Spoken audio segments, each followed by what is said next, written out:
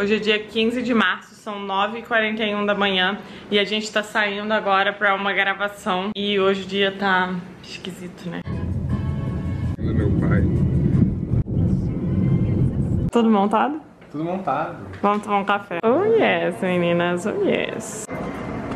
Terminamos a primeira parte da gravação e agora a gente tá indo almoçar. Vamos comer, né? Vamos. Esse saco vazio não para em pé. Coquinha pra um dia que tá quente demais, é isso. E hoje vai todo mundo comer PF de omelete.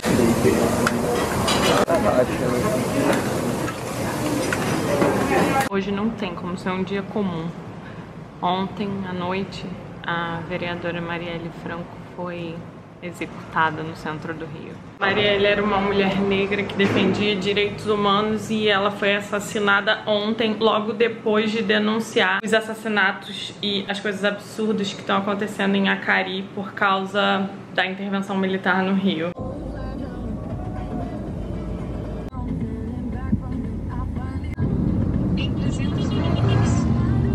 A Marielle foi em 2016 a quinta vereadora mais votada no Rio de Janeiro e ela era defensora dos direitos da mulher negra, da mãe, dos direitos LGBT, dos direitos da favela, das pessoas que não eram ouvidas por ninguém. Ontem à noite, voltando de um evento, ao que tudo indica, o carro dela foi perseguido por 4 quilômetros e foi acertado por 8 tiros.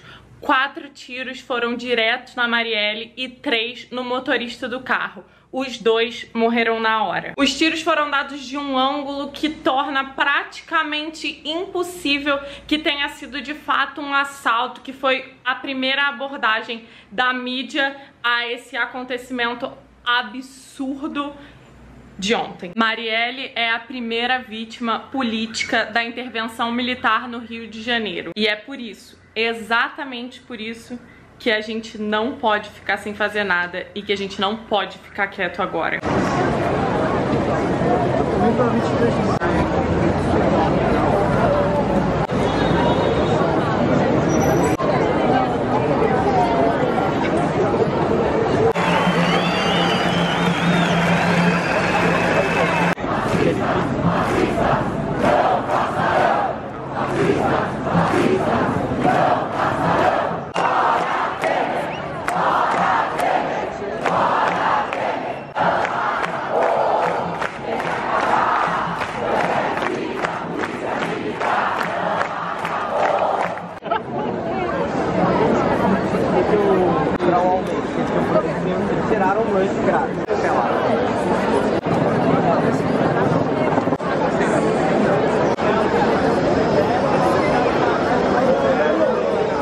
What?